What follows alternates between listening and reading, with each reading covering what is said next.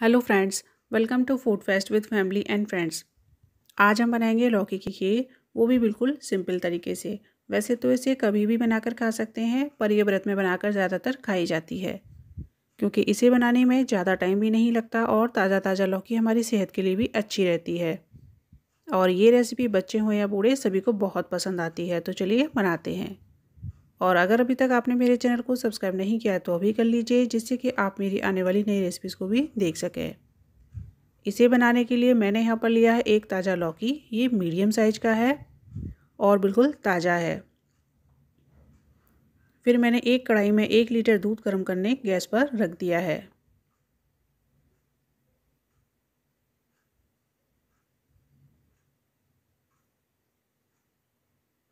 जैसे ही इसमें उबाल आ जाए, इसे लो टू मीडियम फ्लेम पर करके गाढ़ा होने के लिए छोड़ देंगे। और इसमें एक कलछुल डालने से दूध जल्दी उबल कर बाहर नहीं फैलेगा और इसे बीच बीच में चलाते रहेंगे। अब इसी बीच में हम बाकी की सभी तैयारियाँ कर लेते हैं। यहाँ पर मैंने कुछ ड्राई फ्रूट्स निकाल लिए हैं। मैंने कुछ काजू, बादाम, किशमिश और पिस्ता और चिरौंजी निकाले हैं। आप अपनी पसंद के ड्राई फ्रूट्स निकाल लें। और बीच बीच में हमें दूध भी चेक करते रहना है। ये देखिए, दूध भी धीरे धीरे गाढ़ा हो रहा है। फिर मैंने यहाँ पर ड्राई फ्रूट्स भी कट कर लिए हैं। और अब आ रही है लौकी की। लौकी को कढ़ाई में डालने से जस्ट पहले ही छील कर कद्दूकस करेंगे, क्योंकि ये फिर काली पड़ने लगती है। और इसे महीन वाला कद्दूकस किया है। और ये बीज वाला हिस्सा मैंने हटा लिया है, क्योंकि इसमें बीज भी होते हैं और ये अच्छे से कद्दूकस भी नहीं हो पाता और खीर में इसके बीज देखने में भी अच्छे नहीं लगते। और अब एक कढ़ाई में एक चम्मच घी डालकर इसे गर्म कर लेंगे। और इसमें कटे हुए ड्राई फ्रूट्स भून लेंगे।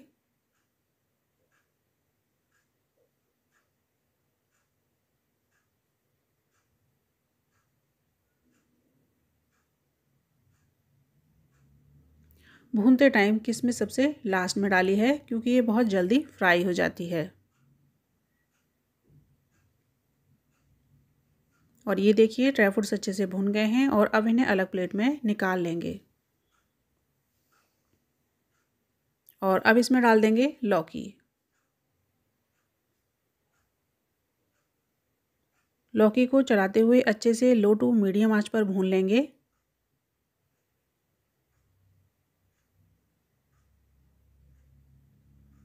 ये देखिए, इसका एक्स्ट्रा पानी भी सूख गया है और ये गल भी गई है।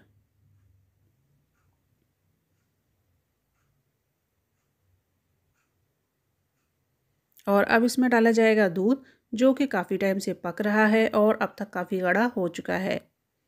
इससे हमारा टाइम भी काफ़ी बच गया है और लौकी की खीर भी बहुत टेस्टी बनेगी। और अब इसे हम अच्छे से मिला लेंगे। और इसे जितनी गाढ़ी खीर हमें चाहिए, उतनी गाढ़ी होने देंगे और बीच बीच में चलाते रहना है, जिससे कि तले पर लग ना जाए।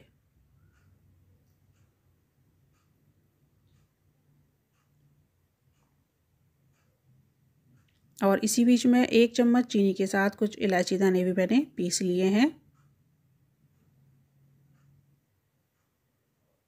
और ये देखिए, जितनी थिकनेस हमें खीर में चाहिए, उतनी आ गई है। दूध और लौकी आपस में अच्छे से मिल गए हैं।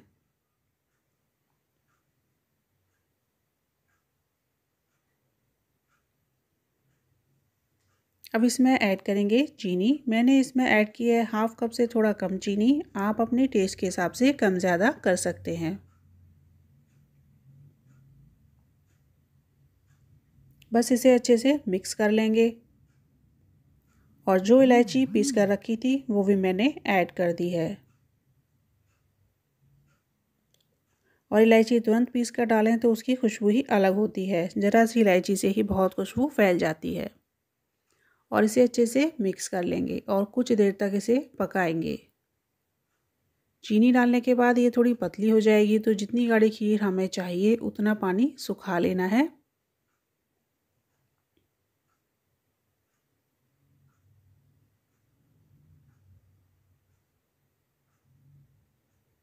और अब इसमें ऐड करेंगे ड्राई फ्रूट्स।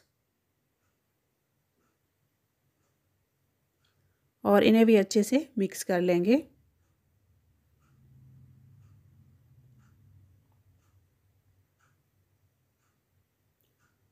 और ये देखिए, हमारी खीर बनकर तैयार है। आप भी इस तरीके से खीर बनाकर खाएँ और मुझे कमेंट करके ज़रूर बताइए कि आपको मेरी रेसिपी कैसी लगी। और अगर आपको मेरी वीडियो पसंद आई है तो इसे लाइक करें और मेरे चैनल को सब्सक्राइब करना ना भूलें। Thanks for watching.